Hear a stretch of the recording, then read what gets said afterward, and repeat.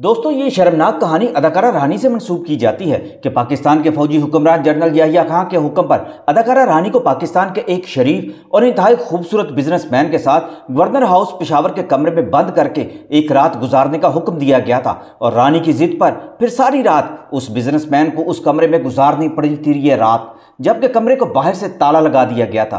पाकिस्तान की तारीख की सबसे शर्मनाक, अफसोसनाक कहानियाँ दरअसल सदर याहिया के दौर में ही लिखी जाने लगी थी और जब ये मंजरे आम पर आईं तो इसके नतज ने पाकिस्तान को दो हिस्सों में तकसीम कर दिया था। ये कहानी भी कुछ ऐसी ही शर्मनाक, बल्कि बदतरीन कहानी है, जिसको सदर पाकिस्तान की फिरौनीत ने जन्म दिया और साबित किया कि वो दौर पाकिस्तान का स्यातरीन दौर था, जब अबलीस इवान सदर और गवर्नर हाउसेज में नाचा करता था।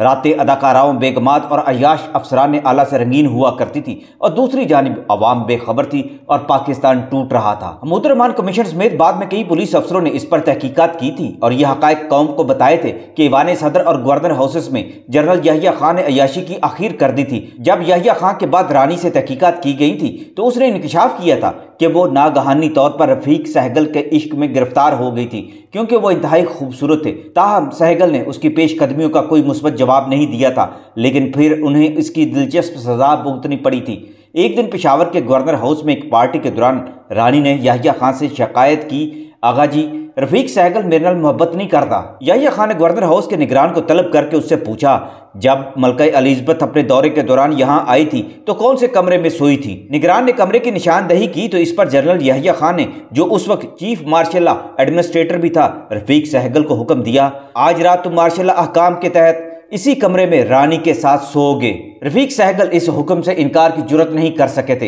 इसके बाद जनरल याहिया खान ने रानी से मुखातब होकर कहा, मोटी, तुम इसके पीछे जाओ और खुदा हाफिज। रानी रफीक सहगल के पीछे पीछे रवाना होगी और दोनों के कमरे में दाखिल हो जाने के बाद कमरे को बाहर से ताला लगा दिया गया था। बात को आगे बढ़ाने से पहले तो ये बात क्लियर कर लें कि जनरल याहिया खान का दिल लुभाने और जनरल याहिया खान के हुक्म पर अदाकाराएँ अपनी रातें उनके साथ गुजारा ज़रूर करती थी, लेकिन इस वाक्य को बयान करते हुए कुछ अभाम भी पैदा किया गया है। सोशल मीडिया पर तहकीक किए बगैर किसी की कहानी किसी और से मंसूब किए जाने का रवाज आम हो गया है।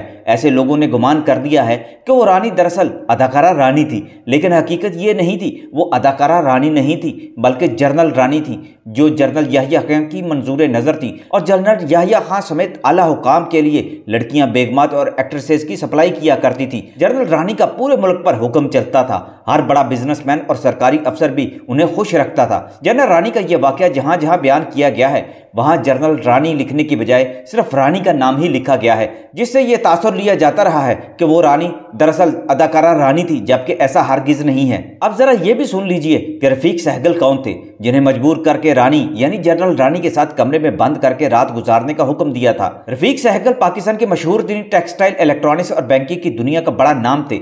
अयूब खां के दौर में उन्होंने कौमी असम्बली का इलेक्शन भी लड़ा था। उस वक्त उनकी उम्र तीस पैंतीस साल थी। स्मार्ट और पुरकश शख्सियत के मालिक थे। रफीक सहगल वही हैं जिन्होंने डूबती हुई पीआईए को दोबारा उसके पैरों पर खड़ा किया था। मगर भुट्टो ने यह सिला दिया कि उनकी सारी फैक्ट्रियाँ नेशनलाइज करके सरकारी कब्जे में लेकर उन्हें कंगाल करने की कोशिश की थी। उन्नीस की दहाई में तो रफीक सहगल को अमीर सहगल कहा जाता था। सहगल खानदान ने पचास की दहाई में कोहेनूर टेक्सटाइल के नाम से फैसलाबाद और रावलपिंडी में दो कारखाने लगाए थे, जिसके बाद उनका तरक्की करता चला गया। अयूब खान का दौर सहगल खानदान के अरूज का जमाना था। सहगलों ने ही यूबीएल बैंक बनाया। यह पाकिस्तान का तीसरा बड़ा बैंक था और यह घी की सनत में आए और फिर टेक्सटाइल में अपनी उजारादारी कायम कर ली थी। रफीक सहगल को जब भुट्टो साहब ने शटिकते इकतदार की दावत दी तो उन्होंने वजारत लेने के बजाय पीआईए की डूबती हुई नाव को बचाने की ज़िम्मेदारी कबूल कर ली थी और मुआवजे में तनख्वाह तो क्या, अदारे की तरफ़ से कोई सहूलत भी लेने से इनकार कर दिया था।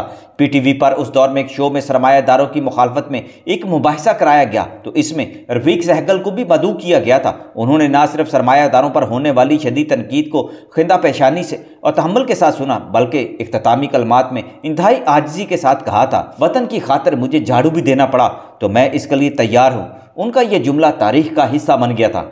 कोहिनूर टेक्सटाइल के मालिक रफीक सहगल का शुमार उस जमाने के तीन चार चोटी के कारोबारी और दौलतमंद सरमायादारों में होता था। दौलत की फराबानी और शोहरत की तमन्ना उन्हें सियासत और सहाफत की तरफ़ भी खींच लाई थी। उन्होंने कौमी असम्बली का इंतखब तो लड़ा, मगर फिर अफाक नामी रोजनामे का अजरा भी किया था। बाद में रफीक सहगल ने वाकई पीआईए की डूबती कश्ती को संभाला दिया था, मगर सितम जरीफी ये हुई कि उनके खानदान की मुनाफा बख्श सनतें भी हुकूमत ने अपनी तहवील में ले ली और उन्हें अपनी सनती और कारोबारी सलाहियतें आजमाने के लिए बैरून मुल्क जाना पड़ा था। फिर जब जनरल जयाउल हक ने इकतदार संभाला तो उन्होंने रफीक सहगल को फिर से पीआईए को सहारा देने के लिए इसरार किया और सहगल खानदान की फैक्ट्रियाँ डिनेशनलाइज करके उन्हें वापस कर दी थी। Rafiq Sehgal Lahore chamber of commerce के इब्तदाई दौर में सदर भी मुंतब हुए थे और उन्होंने पाकिस्तान में सनती इनकलाब लाने में बिलाशुबा बड़ी ग्रां कदर खदमात अंजाम दी थी। ताहम तारीख में ये लिखा है, जनरल यहिया खां के दौर में उन्हें जनरल रानी के ज़रिए ब्लैकमेल किया जाता था और फौजी हुकाम भी रफीक सहगल से माल बटोरने के लिए जनरल रानी को ही इस्तेमाल करते थे।